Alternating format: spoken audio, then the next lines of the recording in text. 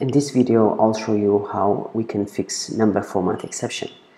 Before that, we have to understand what number format exception is. It is trying to show us that our application tried to convert a string to a numeric type, but it's not in the appropriate format. So let me give you an example. Let's bring in our scanner. Let's call it KBD, new scanner, system.in and we write uh, two numbers, we input two numbers, so number one, the first one, integer dot parse int kbd dot next. So that would be our first input, and our second our second input will be number two. It is the same like the other one? Kbd next? And let's try to divide these two and to output the result of their uh, division the division of number one and number two. Let's do this by bringing in another variable. Uh, we could say uh, yeah result number 1 divided by number 2 so we can use system without dot format. So that we can format our output. We can just do like this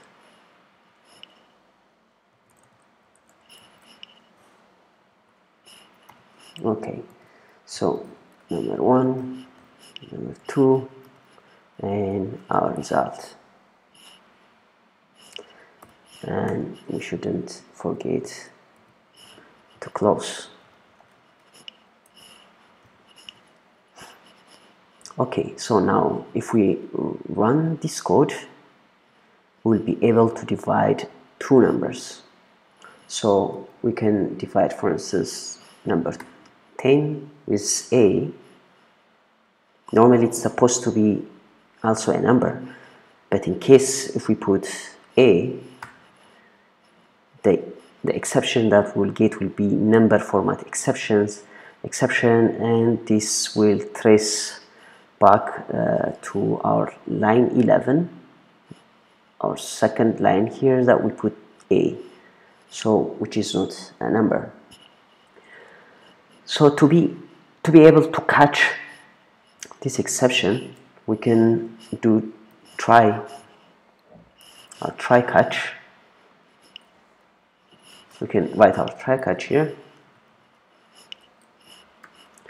and here we can uh, put number format exception, and usually here we have to put the by convention the abbreviation of it, so NFE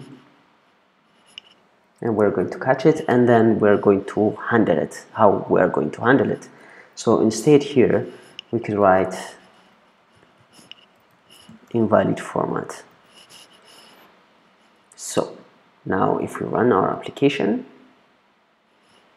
and if we put number 10 and E for instance we will get an invalid format.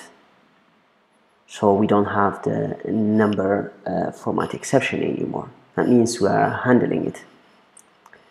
We can also use different ways. Uh, we can also uh, trace the error by using our abbreviation nfe dot print stack trace as you can see here and this one will result into showing us the source of the error and it traces it for us. One more way is we can also use